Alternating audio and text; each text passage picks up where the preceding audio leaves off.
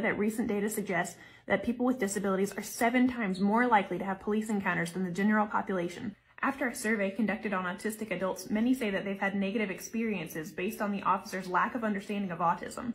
While there are programs to train police officers on best practices when interacting with autistic people, researchers suggest that both autistic people and police officers need additional training in how to best cooperatively problem solve. So here are some tips for autistic people. When interacting with law enforcement, you may find it helpful to disclose your diagnosis. You can do this verbally, or you can use a laminated card that describes your diagnosis and how it affects you specifically.